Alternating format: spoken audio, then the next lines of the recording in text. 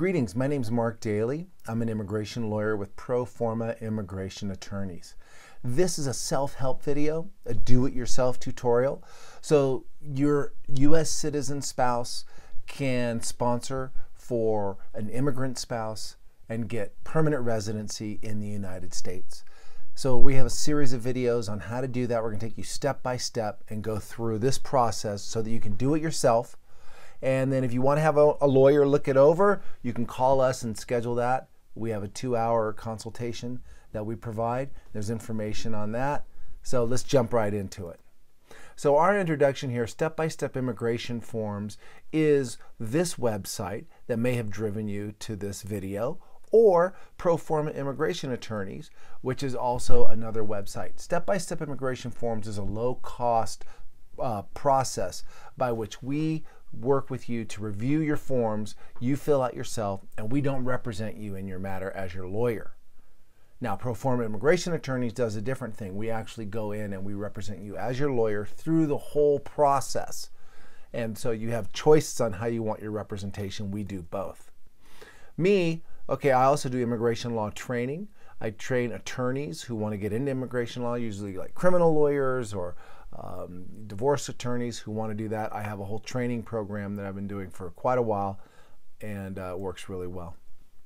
And here's me at the Federal Bar Association. I'm a member of the State Bar of California and also American Immigration Lawyers Association. And I've uh, been practicing law since uh, 2000. So we're going to talk about terms here. And we have our petitioner, which is a U.S. citizen, the beneficiary, which is the immigrant, also called the applicant. That's going to be the immigrant coming in. And then permanent residency is also called a green card. And then an immediate relative, this is a key term. It's the spouse, parent, or child of a U.S. citizen. And what's true is that the Immigration Service is more supportive of immediate relatives immigrating to the United States than non immediate relatives. And we'll show you more what we mean by that in a little bit. So what we're going to do first is download your forms and then you're going to get your documents together. Then you're going to get your information together. Then you're going to fill out the forms and then you'll do the assembly and the filing of all the forms. And finally, you will have your green card interview with your spouse. This is how we want you to approach this process. This is how we approach the process. So we, we advise you to do it this way as well. So we're going to start with our forms. And you go online with uscis.gov and go get your forms there. Now these are PDF forms you want to download onto your hard drive and save them. And then start filling them out and save them on your hard drive. So I-130, petition for alien relative. This is the first form. The next one is the I-130A, supplemental information for spouse beneficiary. The other one is the I-485, application to register permanent residence or adjust status. Another one is the I-765 application for employment authorization. Another one is the I-131 application for travel document.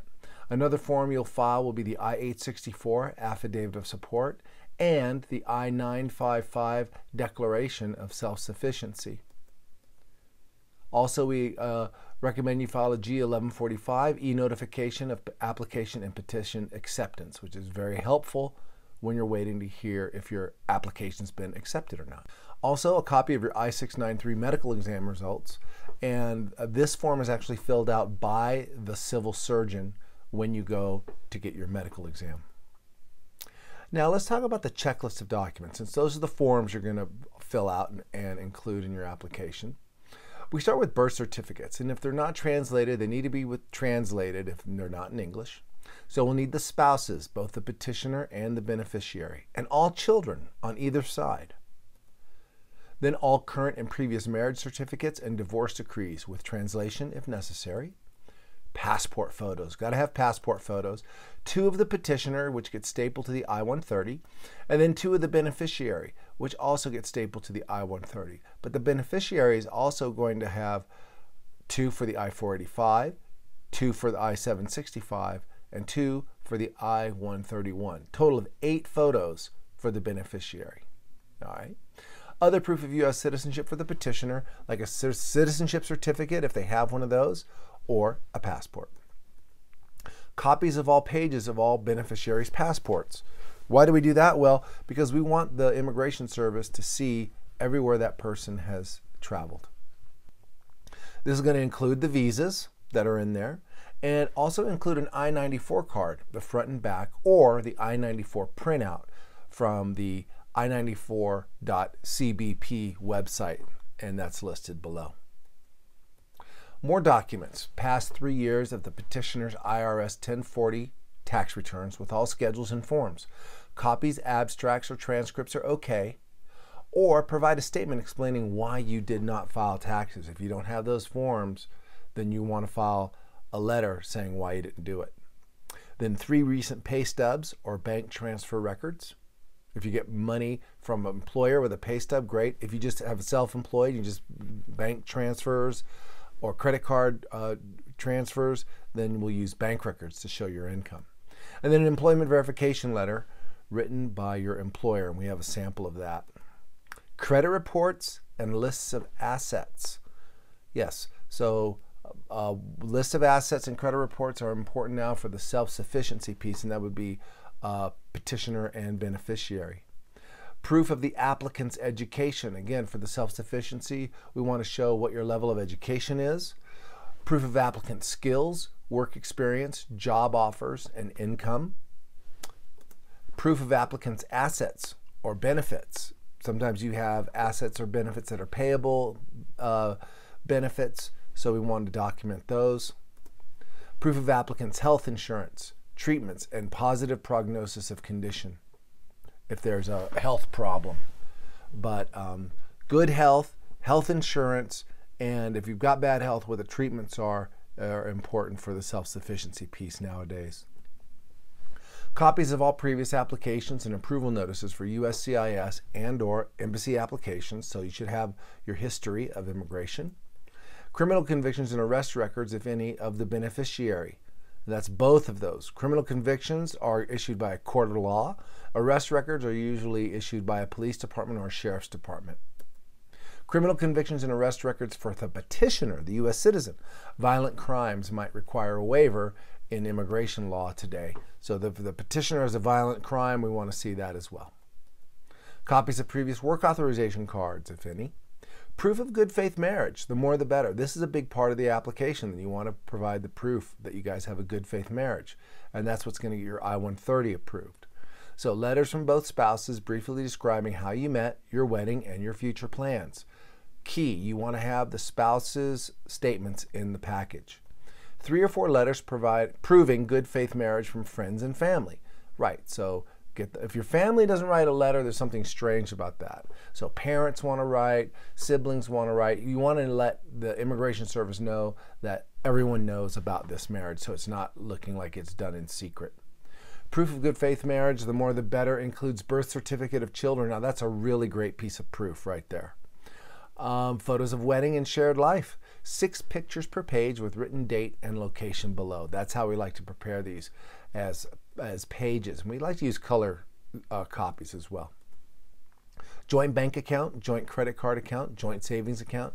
The money thing, sharing money is a big part of a good faith marriage. Real estate, real estate held jointly as spouse one and spouse two. So jointly held real estate is also good faith. Automobiles and insurance held jointly as spouse one and spouse two. Lease to apartment held jointly as spouse one and spouse two. Health insurance policies held jointly as spouse one and spouse two. Life insurance policies with spouse as a beneficiary. Utility bills with both names on the bill. Wills. Wills are good because there's a legally binding document and it's you can get a will kit at $20 at Office Max or Staples. Fill it out, go to the bank, have them witness and notarize it, and then you're good to go. Fill out your questionnaires before preparing the forms right? So we have questionnaires that we use. This is how we like to do it. We like to get all the data, all the addresses, everything, and get the questionnaires filled out. And then take those questionnaires and transfer the information into the forms. It, the forms end up being better and it, they're more accurate and it ends up being easier because you have to go back and forth through all the forms. Now you might say, well, I know my address. Why do I have to write my address down? Okay, that's fine. Your current address but then the, your, addresses for the last five years and the dates of them, do yourself a favor and fill the questionnaires out. Now we have intake forms, these questionnaires on our website, which are really great, proformaimmigrationattorneys.com, and they're listed there on Word documents, so you can just actually fill them in. And it's in the resources section, and in the drop down menu, you'll see them intake forms there. Actually, on the home page, they're there as well. Great, so this is the first step for doing your case is making sure you have all your documents and information ready to put together your package. So that it looks really professional and you know you never get a second chance to make a first impression. And your immigration paperwork is going to be read by a human being. So you want it to be organized and you want it to be clean looking. So the next video is coming up. So thanks for watching